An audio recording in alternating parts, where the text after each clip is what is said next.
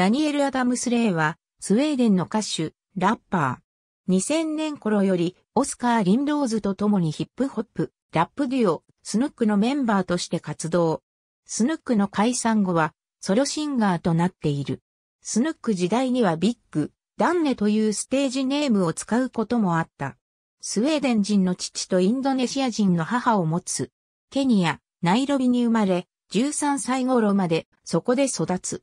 2006年に一家はオランダへ引っ越し、その1年後スウェーデンのリディンゲへ移り住んだ。中学校を卒業後、入学した高校で、スヌックでのパートナーとなるオスカル・リンロスと出会う。意気投合した彼らは共にラップを始め、2000年にスヌックを結成した。2004年、ファーストアルバム、シックスヘッドインテバルとシックススカメンシックススカコンマ、dit をリリース。シングル、ミスタークールがラジオでヒットし、ゴールドディスクを獲得。また、スウェーデンの音楽アワード P サンガルドをベストソング部門で受賞。2006年にはセカンドアルバム、 Är をリリースし、2006年の MTV、ヨーロッパミュージックアワーズのスウェーディッシュミュージックグループ部門や、スウェーデン版グラミー賞のヒップホップ、ラップ部門を受賞している。また、ダニエルはフリースタイルラップの名手でもあり、2004年にはフリースタイルバトルのスウェーデンチャンピオンにもなっている。2007年頃から音楽性の違いなどを理由に、オスカルとの関係が悪化したため、2008年頃より、スヌックの活動は停止している。この頃、ダニエルは、ストックホルムのバーグススクールオブコミュニケーションで、ファッションデザインを学び始めた。2007年からは、ネッテサンドストラムとハイストリートのファッションブランド、ロガムを展開していたが、2014年にストックホルムのブティックは撤収、現在は活動していない。2009年までは音楽面での目立った活動はなかったが、自身のファッションショーのために音楽制作をする中で、ソロキャリアのスタートを決意、2010年にはスバート、ビト・アルト・デルメロンをリリースした。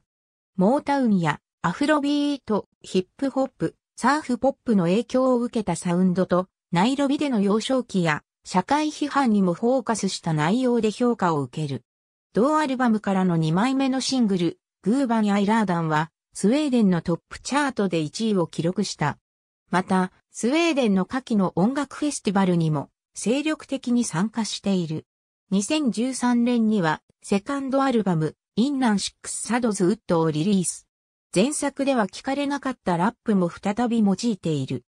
現在は主にポップシンガーとして知られるが、ソロ活動開始以降も、ペッターやアダン・テンスタ、オーガニズマンなどのスウェーデンのヒップホップアーティストと交流があり、ゲストボーカルとして音源に参加することもある。2015年には、アビーチーのアルバム、ストーリーズ収録のサムウェアインストックホルムでゲストボーカルも務めた。また2016年の FRER のミュージックビデオには、スウェーデンのサッカー選手ヨングイデッティも出演している。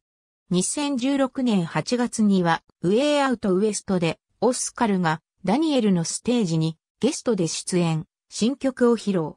9月には、スヌック名義ではなくオスカー・リンローズとの連名で、シングル、シッター PEN、DR、メートルをリリースした。スヌックの再結成はされていないが、その後も時折お互いのステージにゲストで登場している。2017年にはヒューマン名義での活動をスタート。ソロやバンドではなく、コレクティブという形態という説明をなされており、歌詞はすべて英語である。2017年11月にはシングル、ハイヤーを、2018年2月にはアビーチーとの共作であるゴーストをリリース。2018年にアルバムをリリース予定。また、近年はアスリートとしての活動にも力を入れており、2017年にはトライアスロンの世界選手権にも出場した。また、現在のダニエル自身のレーベル、ヨ、ランニングクラブは、レコードレーベルと実際のランニングクラブ両方の運用がなされている。ありがとうございます。